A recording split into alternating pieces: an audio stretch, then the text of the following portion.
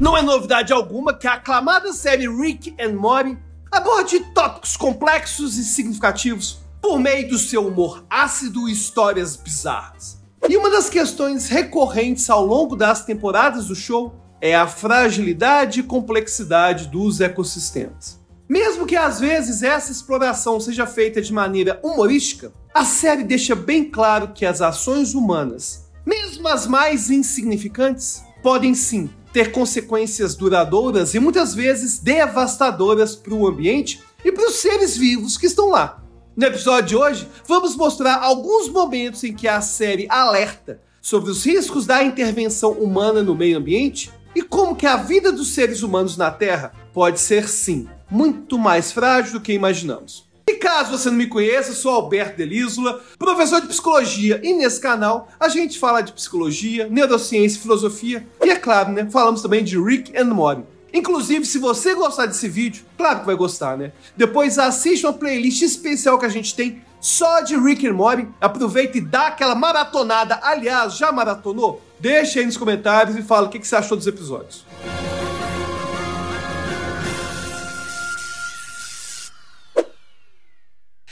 Ecossistemas são entidades dinâmicas e sujeitas a crescer e transformar-se dependendo das condições em que existem. Alguns ecossistemas são vastos e têm uma complexidade que foi aprimorada por séculos ou até milênios, como é o caso da floresta amazônica.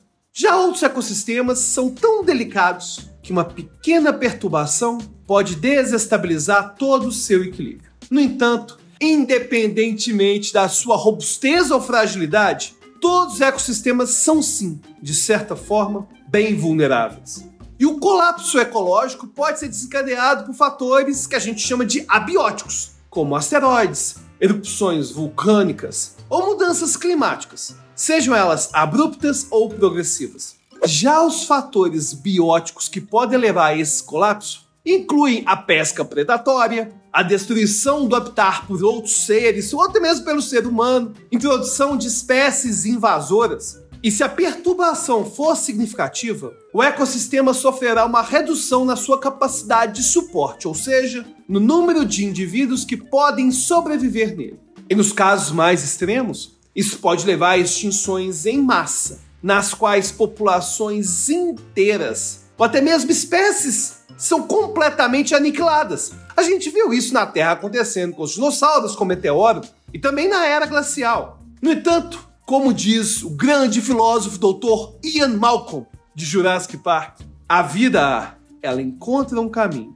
Não, eu só estou dizendo que a vida uh, encontra um meio.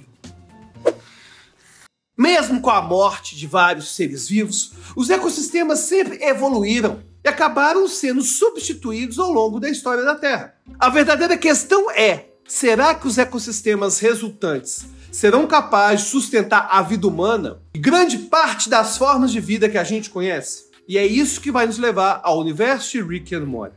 Os criadores do programa, de forma bem perspicaz, exploram as complexidades e fragilidades dos ecossistemas. Ainda que por meio de enredos absurdos, excêntricos, e ainda que tenha muito humor ácido, né? Tem gente que não gosta. Eu adoro, mas enfim. Em diversos episódios, a gente vai ver planetas inteiros ou realidades inteiras sendo destruídas ou radicalmente alteradas devido a ações imprudentes, geralmente do Rick. E os autores nos mostram que, mesmo em universos fictícios, o equilíbrio ecológico é precioso e facilmente perturbado.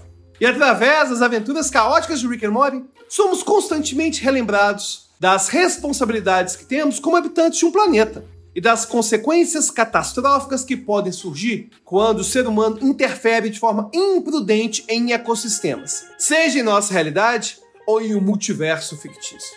E essa fragilidade de ecossistema a gente vê em vários episódios Rick and Morty. Mas hoje a gente vai falar de um episódio específico, que inclusive é meu episódio favorito. É o episódio A Poção do Rick, que é o sexto episódio da primeira temporada da série. Se depois você quiser que eu fale sobre outros ecossistemas que foram abalados em outros episódios, deixe aí o comentário. Bom, nesse episódio da poção do Rick, Mori, o neto tímido e ansioso de Rick, solicita a seu avô uma poção que faça Jessica, a garota mais popular da escola, se admirar e se apaixonar por ele. A Rick o obedece e usa da ocitocina extraída de um rato, um animal que fica acasalando por toda a vida, e um pouquinho de DNA de Mori e faz a poção. Essa poção deveria fazer apenas a Jéssica se apaixonar por Mori. No entanto, ao contrário do esperado, a poção não só afeta Jéssica, mas também se espalha por todos do colégio e, por fim, se espalha pelo mundo todo.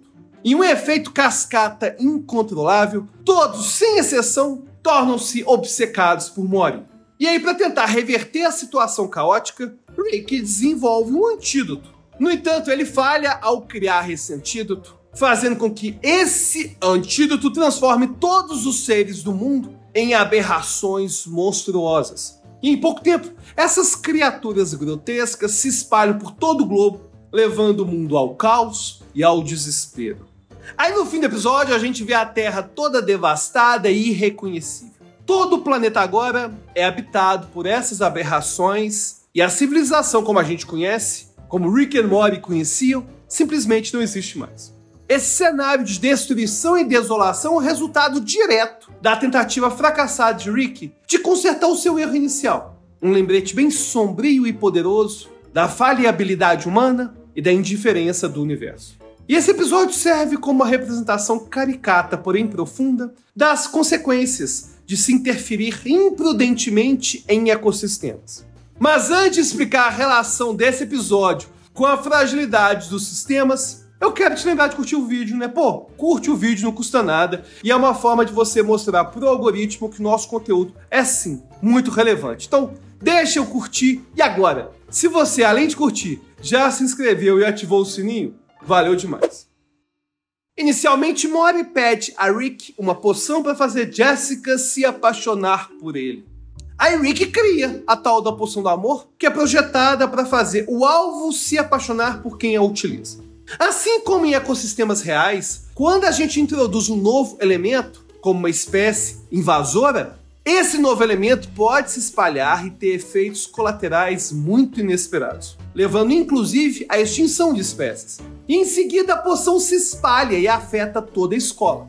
E eventualmente o mundo inteiro se transforma em pessoas obcecadas por Mori. E no mundo real, um desequilíbrio no ecossistema pode levar a uma reação em cadeia, impactando vários e vários níveis da cadeia alimentar e possivelmente levando a extinções. Aí depois Rick tenta consertar a situação criando um antídoto usando genes do louvo a Deus. E, infelizmente, isso transforma todos os seres humanos do planeta em monstros mutantes terríveis. E na realidade, quando a gente tenta intervir em ecossistemas perturbados, muitas vezes nossos esforços podem piorar ainda mais a situação se a gente não compreender completamente toda a complexidade do sistema.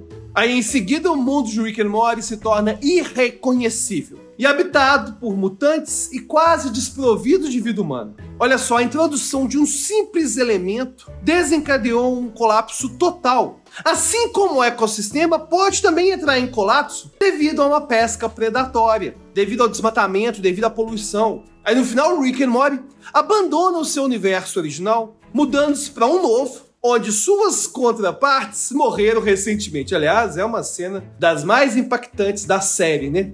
Onde Rick e Morty enterram seus corpos no quintal. E depois Morty convida Summer para ver TV. E esse é um reflexo de como, após um colapso ecológico, a natureza pode sim começar do zero, evoluindo, adaptando-se para preencher os vazios deixados para trás.